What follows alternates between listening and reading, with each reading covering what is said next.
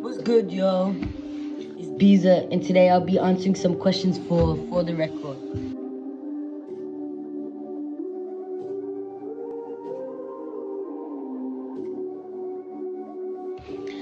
I wouldn't say there's been an artist that's changed the way I've listened to music. There's definitely been artists that have influenced me, you know, how to deliver on a song or to talk about, like stuff like that. Definitely.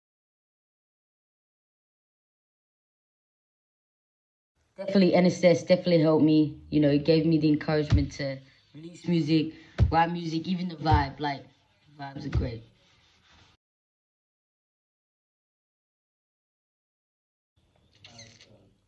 Mm, it comes naturally for me for what I want to speak about. Definitely, like when I go to the studio, my producer will just play a flat beat. I'll go in the booth and I'll say line for line off the top of my head, like I don't write down anymore. But when I first started making music, I guess the skill would have been, you know, learning how to write, learning how to flow. It definitely takes time to learn how to flow on a beat. Like, it's whatever, but.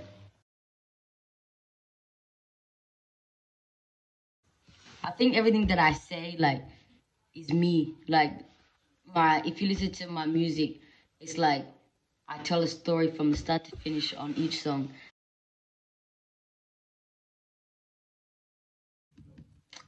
Well, definitely my manager.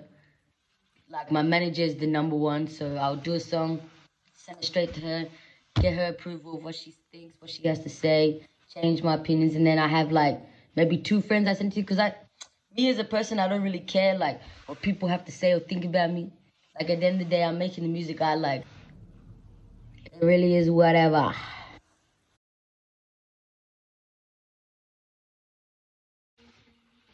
Hundred and twenty-five percent critical. Like I'll probably do the same line over and over again about twenty thousand times in the studio. It probably takes me like two hours just to make one song because I like critiquing like the way I deliver, it's not so much of what I'm saying, it's the way I deliver and the way I want people to hear my voice. I record differently compared to other people. Like, for example, the beat would be playing, whatever, whatever. And then I'll say one line. Hear it over. If I like it, keep it. Record, hear that, say the next line, stop. Like I do line for line.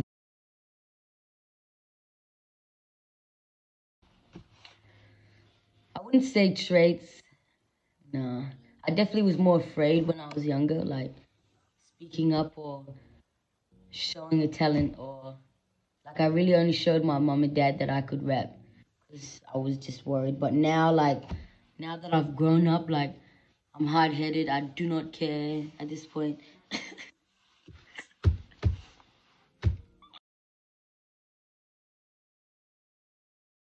I guess I'll be most proud of me actually making work, you know, getting a manager, realizing that I really am. Yeah, I really got it in the bag. Mm. Hell yeah.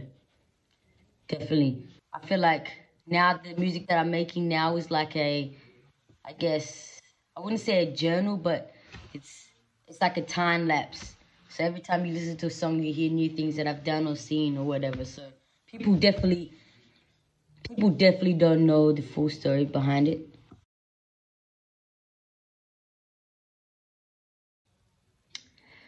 The definition of good music to me is like when you know that it's pure from the heart, like it's not no made up situations. Like you know this person generally, you know, is either heartbroken or went to jail or you know is trying to become a millionaire, you would actually honestly feel that and be pushed by that. I would love, like, I love listening to music that what I'm facing or what I'm wanting to achieve, I can use a song to achieve that or use a song to get over that.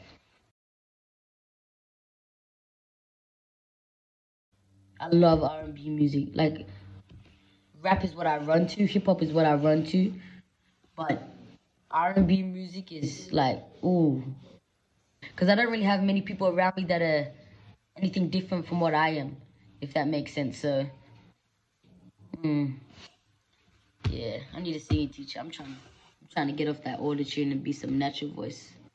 Hell yeah.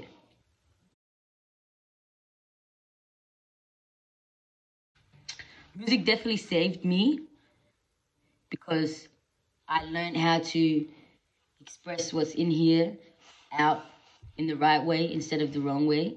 Like, I think all the time, my brain is just ticking. So every emotion, every aspect of my life, I take it and put it onto a song now. Whereas before, if I was emotional, I would go do stupid things like just. Music definitely helped me to mature, appreciate things a lot more, and actually have something to look forward to. Because I really didn't have much to look forward to, but now I wake up. Look, I have a home studio. I wake up straight in the studio. It is what it is, cuz.